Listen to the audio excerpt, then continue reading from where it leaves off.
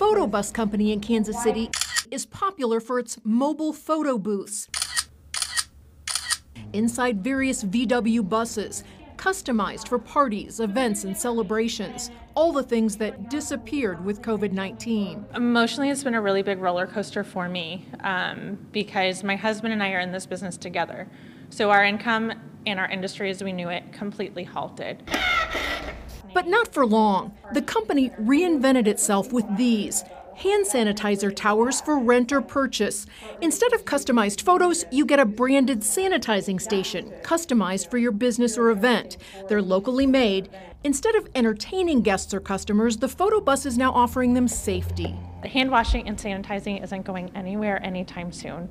So these need to be in stores. They need to be in brick or mortar locations. They need to be in venues because people want to feel safe.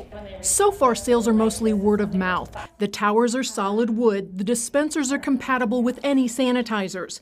And Cate has some advice for others struggling during the pandemic. It is so hard right now, um, but cut everything back. Do what you can to survive. This welcome back. It's just going to look a little bit different, so hang on.